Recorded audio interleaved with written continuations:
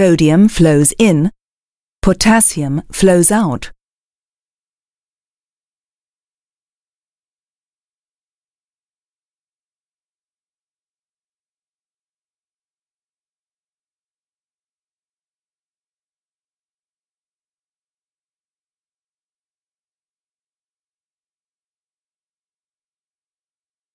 The exchange of ions depolarizes the cell membrane. The cell is constantly working to maintain its resting potential.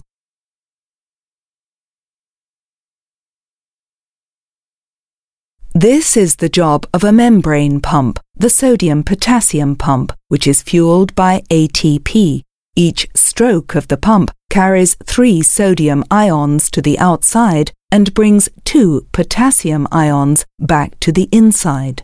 As a result, the membrane potential stabilizes at about minus 70 millivolts. Now the nerve cell is ready to be activated again.